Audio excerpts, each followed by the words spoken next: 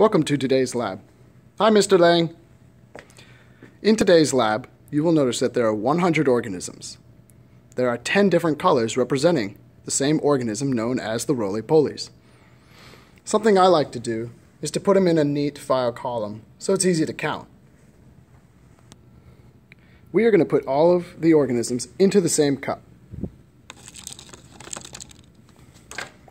Once we've done this with all of them, we're going to next move on to here. This is our environment. It can represent desert, forest, or whatever we need. In this case, the 100 organisms, the roly-poly mice, are going to be spread out across their environment.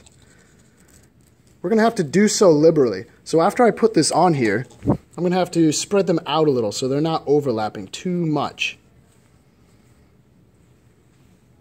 That should be good enough for the sake of this.